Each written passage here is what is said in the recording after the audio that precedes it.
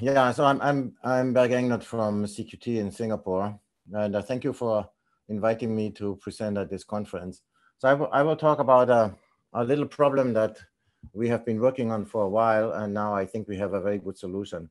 So this is about solving time-dependent Schrodinger equation uh, with high accuracy. And there are other applications to it also, but I will only talk about these now. So um, just to get started, if we have a Schrodinger equation to solve for a, a, wave function, then one way of doing this is just using the unitary evolution operator that advances you uh, by time t from the initial state to the final state. And, uh, and that's, of course, this exponential structure.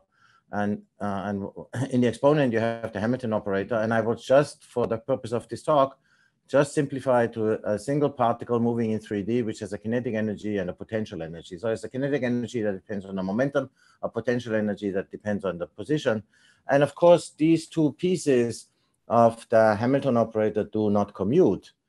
And since they do not commute, we cannot factorize the unitary evolution operator. So of course we can factorize it, but we introduce a mistake.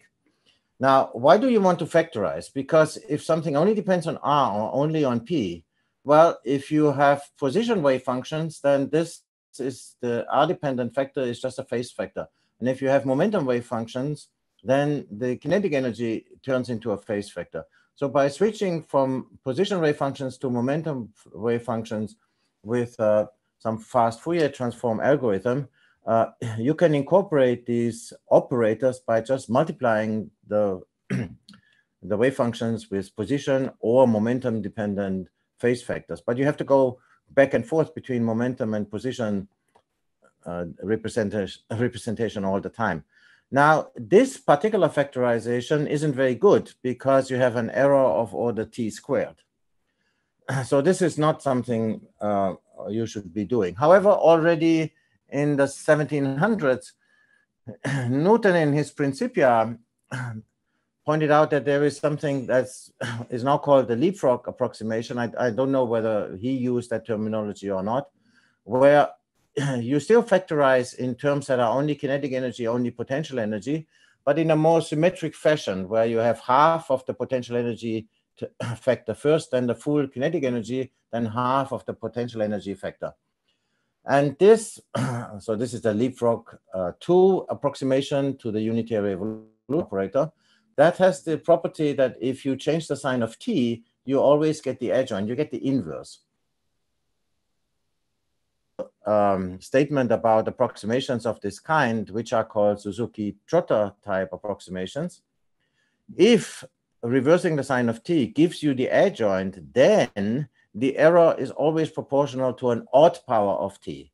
So here we have an approximation which is very similar to what you saw on the previous slide, uh, except that we have broken up the potential energy term into two pieces, and that rem removes the second uh, order error. And now we have an error, error that goes like t cubed.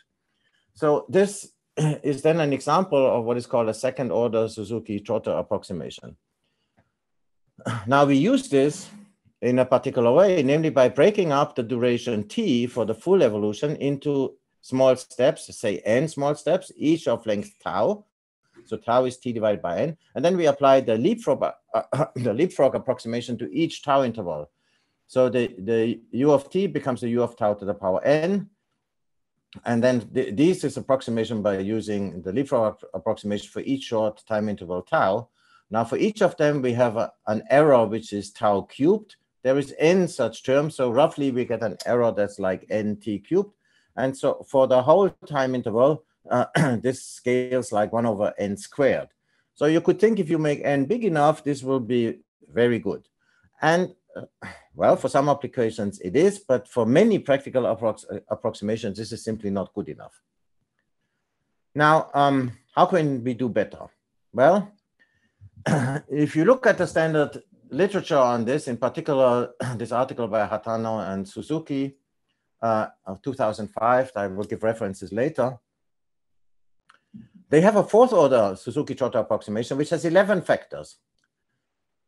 so, so that means that you have to do a lot of this switching back and forth between position and momentum description, okay? Uh, so while, while that is still acceptable in some sense, what is really not so good about this factorization is that some of the time steps are negative. So let me just go back. So this is half a, a time step, a full time step, half a time step. Now in this 11 factor uh, fourth order approximation, some of the time steps go back in time. And, and, uh, and there are some, some uh, applications that simply cannot to tolerate uh, um, time steps that, that, have the wrong sign. So, so it means that these uh, negative time steps, they are not just troublesome, but they just render the approximation useless for, for some applications. Now, there is an alternative to this fourth order Suzuki-Trotter approximation with the 11 factors, namely a fourth order approximation with only five factors and all positive time steps. so there's a little bit of history for this particular approximation. There's a paper by Chin in, in nine, uh, 97, a, a, paper by Omelyan, Mryglod, and Folk in uh, 2002, and then our own work from 2018. There are different ways of arriving at the same answer. So here you see potential energy, one sixth of potential energy, two thirds of potential energy, one sixth of potential energy, kinetic energy, half of the kinetic energy, half of the kinetic energy term, and uh, an extra term that goes not with the potential energy, but with the square of the force that derives from the potential energy. And while this has affected t, this has affected t cubed. So, so however, this, this approximation as a whole is sort of a fourth order version of the leapfrog. So the error is in t to the 5. And this fourth order leapfrog approximation actually works wonderfully. We have benchmarked this against other approximations quite extensively. And the details you can find in this paper by Hue and, uh, and others in 2020. And I just quote from the paper that the fourth order leapfrog outperforms all the other approximations in both accuracy and computation time. So it's, it's uh, uh, cheap, relatively cheap in computation time, and it's also highly accurate. so uh, let's let's apply this to some to some problem. Now, um, the problem I'm choosing is actually the Stern-Gerlach interferometer. So let me let me re uh, recall a little bit of the history of that particular problem. so um, there's always there's always a debate about measurements in quantum mechanics and so forth, right? And if you look at David Bohm's book, actually a really nice uh, textbook on quantum mechanics, the first book I believe from which you could actually teach the, the topic to students, written in 1951, are Bohm uh, kind of asked the question whether the splitting of the beam that occurs in a Stern-Gerlach experiment can be undone.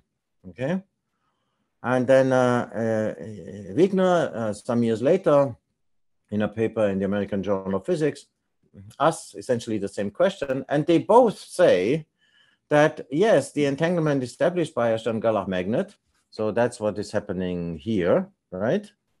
Uh, that that can be undone, completely reversed with a full recovery of the initial spin state of, say, the silver atoms entering the uh, Stern-Gerlach apparatus, the experiment done uh, 100 years ago, actually, 1922. Uh, now, of course, uh, with Bohm and Wigner uh, making statements, then others are happy to parrot their wisdom. And and uh, and so that's the state of affairs uh, uh, if you look at some part of the literatures. So the answer is, well, you, you have your Stern-Gerlach apparatus. You just add three copies of the same thing, okay, with reversed magnetic fields for two stretches and the the same direction of the magnetic field in the last thing. And ready is your Stern-Gerlach interferometer, okay? The beam gets split. So at this point, you have transferred momentum and the, the, the beams uh, uh, uh, fly apart, the partial beams fly apart. Then, then this magnet undoes the momentum transfer. So now the, the beams are moving parallel, but you still have a separation in space. And then you just do the same thing again, uh, but now just, just transferring momentum uh, first such that it gets the beams closer. And then you undo the momentum transfer so that you have no net momentum transfer in the end and no net displacement and and uh, yeah if everything just is is done right then uh, the original spin state that you had for the atom entering the apparatus uh, is recovered as you come out. Now, Bohm and Wigner, of course, knew that this is not going to be easy. Bohm speaks that you need a fantastic precision to do that. And Wigner uh, points out that the experiment would be difficult to perform. Um, but of course, implicitly, both of them say, just keep trying and you'll succeed. But really? Seriously? Okay, let's take a look. Okay, let's take a look at an oversimplified one-dimensional model with a time-dependent force. So I'm translating the motion of the atom along the y-axis through the magnet just into a time dependence, okay, and ignore all the uh, details of the y motion and certainly ignore the details of the x motion and only look at, at the motion in the transverse z direction. And so the force is now a function of time um, uh, multiplied by the z component of the Pauli spin uh, uh, vector operator. And so that gives you a, a, a spin-dependent force. And so let's say we have this f of t such time, it has the value f0 for the two central magnets from one quarter to three quarters of the time, the force is reversed. And then for the last uh, magnet, you have the same force again uh, in the positive direction. And if you just work this out, and it separates the beam in momentum after the first uh, quarter of the apparatus by one half f0t. So of course, this for splitting the beam, this has to be large compared with the momentum spread that you begin with. And halfway through the apparatus, the separation in z is uh, uh, 1 8 f0 t squared divided by m. The 1 8 is not important, but this uh, force and time dependence is important. And that has to be large compared with the initial spread in, in, in z, uh, because you want to split the beams. You want to be able to put your finger between the two beams, okay? And, and uh, also, uh, you are not getting any displacement or momentum transfer at the exit at, time t when everything is over. The, the total separation is zero and the total momentum transfer is zero. So that's uh, just I'm modeling this ideal uh, uh, Stern-Gerlach interferometer with a little bit of simplification because we do everything in 1D and, and uh, rather than talking about magnetic fields, we just talk about time-dependent force. Now, but let's take this seriously for a moment and ask ourselves, well, with which precision would your friend, the experimenter, have to make three copies of the initial apparatus? Well, so let's just say, what are the tolerance for imperfections? If we have imperfections in realizing this ideal f of t, then we will have errors the, the final uh, split in, in Z will not be zero, but it will be hopefully small compared by the coherence length, which is uh, Planck's constant divided by the spread in momentum. This is spread in momentum that we have here. And, and the, the, the leftover momentum transfer between the two beams, yeah, that has to be small compared with uh, the coherence length in momentum space, which is h bar divided by the spread in in z. and so uh, so I put in a, a, factor here to make sure that this has to be small, say something of the order of a tenth. Okay, we're not requiring ridiculous precision, just something like a factor of 10. Now, if you put this together, then the product has to be less than epsilon squared h bar squared, and the product of delta z and delta p. And this is where Heisenberg steps in and he tells you that this product is at least half an h bar, which means that um, this this whole product is is mu much much smaller than h bar. This epsilon is already a factor of 100, and then if you are unlucky, the delta c delta p is also not so small, but then then it gets even smaller. But let's let's just say that this that this we are we are capable in making something like a minimum uncertainty state for, for the Z motion. Good luck with that in a real experiment, but let's just assume.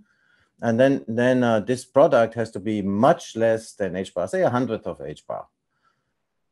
but if you translate this in, into uh, instructions for your colleague who does the experiment, you have to tell him that he has to control his macroscopic Stern-Gerlach interferometer with submicroscopic precision. Okay, not something which is of the order of h bar, something which is much, much less than h bar.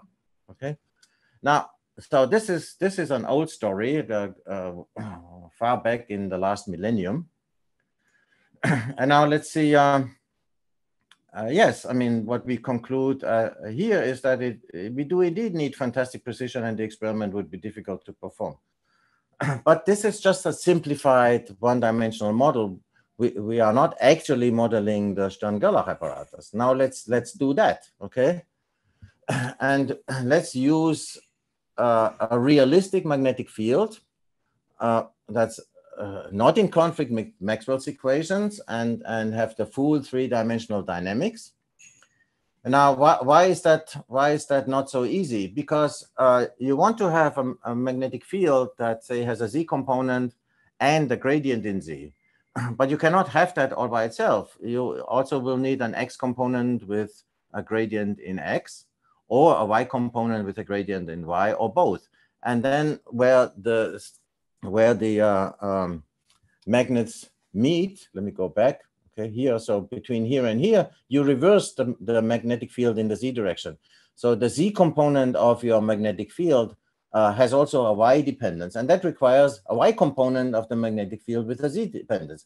So clearly you have all three components of, of uh, the magnetic field and any approximation that says, well, you know, there's a dominant component, it's, it, I'm only paying attention to the Z component of the magnetic field. Well, that's that's an approximation that may or may not be justified. Okay, so we are using um, a realistic magnetic field that's not in conflict with Maxwell's equations. We uh, take the full three-dimensional dynamics, so the atom is not just moving in the z direction, but it also moves in the x and the y direction if a force is acting on it and then uh, and then we're using this fourth order leapfrog that I described earlier um, because it offers us the accuracy that we need to study this Stern-Gerlach interferometer. So without that, we, we, we would not be able to do it. And what I want to point out is that the model is ideal. We are not even considering the imperfections that I talked, talked about on the previous slide. So we are that that would come on top on what I tell you now. Okay, so when you're done with all this calculation, you'll find that these results do not support Bohm's and Wigner's optimism. So let me show you here. This this on the on the uh, horizontal axis, we have the the splitting of the beam in the middle of the apparatus in units of uh, the initial uh, beam width. Okay, so if we split the the beam a little bit, like here. So you can't really tell the two beams apart. You cannot put your finger in between. Then you can maintain spin coherence for the atoms coming out. That's the number that's calculated here. That the C of t is just it's just the length of the of the expectation value of the Pauli vector operator for the spin. So if this is one, then you have full spin coherence. If it's zero, then you have lost all the spin coherence. And indeed, if you want to have a good separation of the beams, then then there is no uh, spin coherence recovered, nothing at all. Okay, and uh, so here you see how the how the apparatus is calibrated. There really is no no noticeable separation uh, in the z direction. That's this number, right? The the triangles. Sorry, there's something wrong here. Anyway. Uh, but but we, we cannot we cannot avoid some separation in some of the uh, some some of the directions because we have the three components of the magnetic field. Okay, so this is already the best we can do. So the conclusion is when the first Stern-Gerlach apparatus splits the beam noticeably, so we are not in this regime, but we are in this regime, and then it's over. Yeah, you cannot recover the spin, and that really tells you that quantum evolution is not reversible, contrary to what Bohm and Wigner would tell you in these papers, they think that quantum evolution, as long as you haven't actually detected the atom coming out of the apparatus, you can undo everything that has happened. That's not true. So uh, let me summarize. okay, so first of all, there is this five-factor version of the leapfrog, and that enables us to solve equations of motions with high accuracy. I showed you an example of uh, uh, of, of one particle in 3D, but of course it's not limited to that. And uh, our application to the full-blown study of the Stern-Gerlach interferometer confirms that quantum evolution is irreversible. so I thank you for your attention, and uh, maybe we can have some questions and answers before we re reach the full hour. Um, and uh, uh, meanwhile, I show you the uh, references that I mentioned in the talk. Thank you. Yeah, yeah. thank the speaker. Uh, yeah, we have a good amount of questions. So any questions in the audience?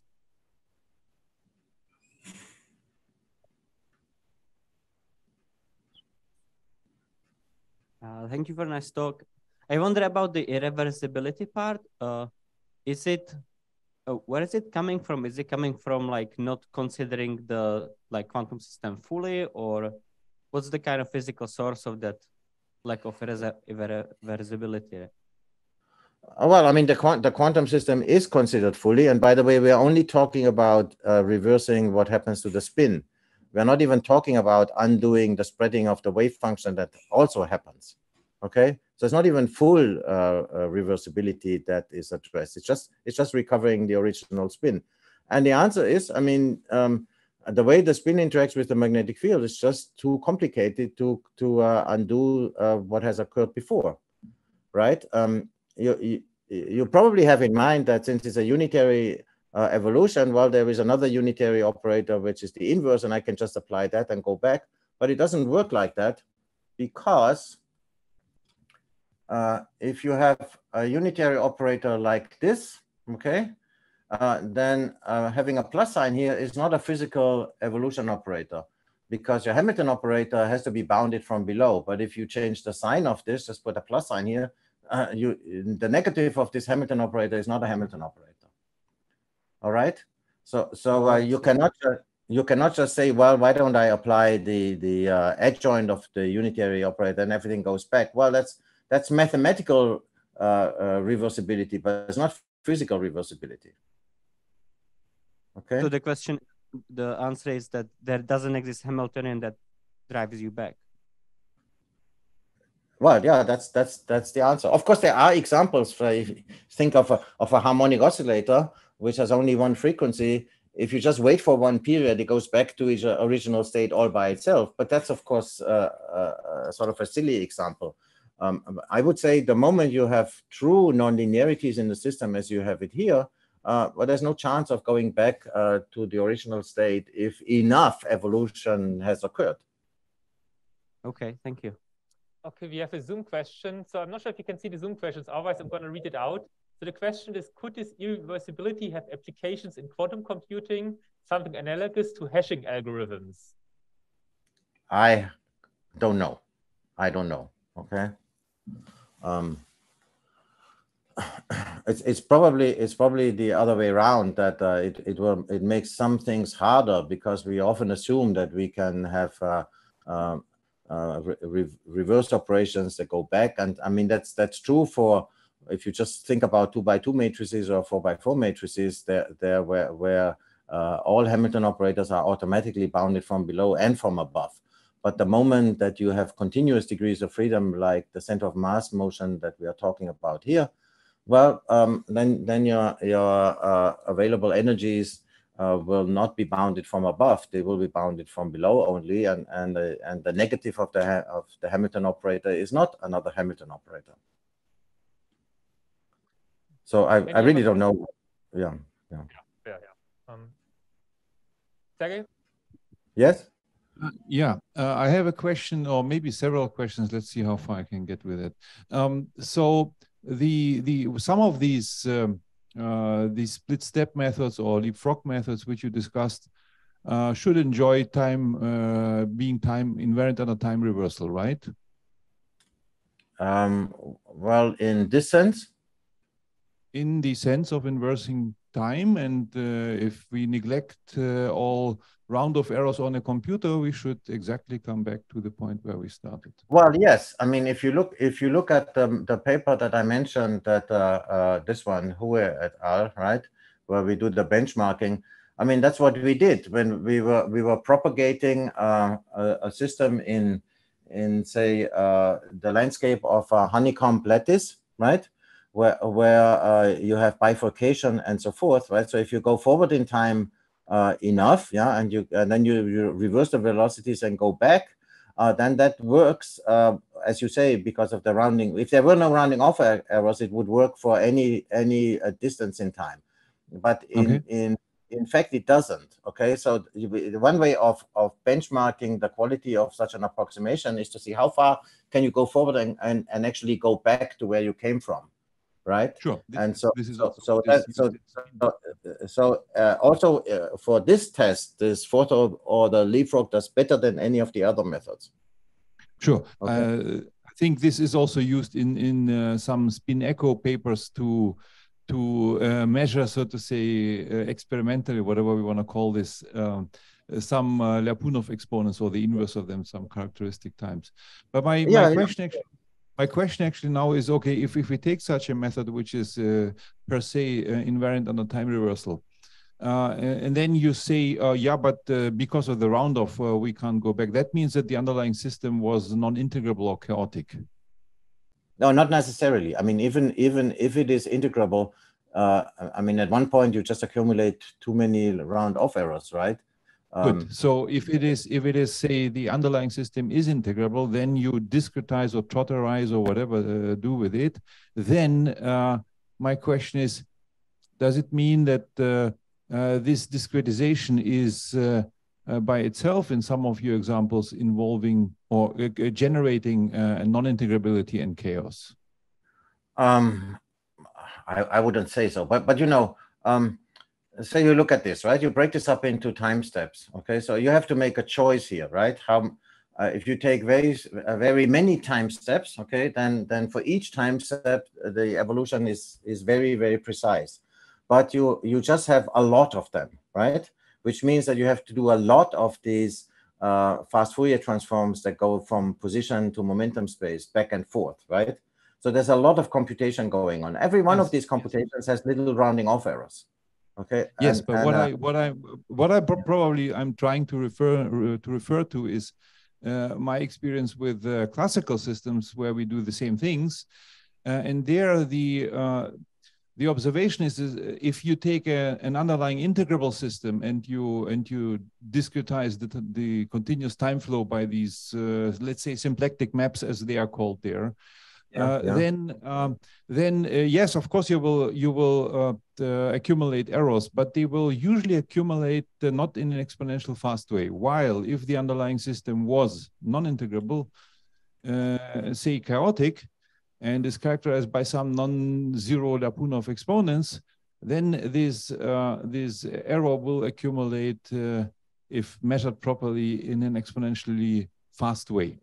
Yeah, yeah, that, that that's true. I mean, we also see this in in this benchmarking exercise, where where we were looking at integrable system like like just a Kepler problem, right?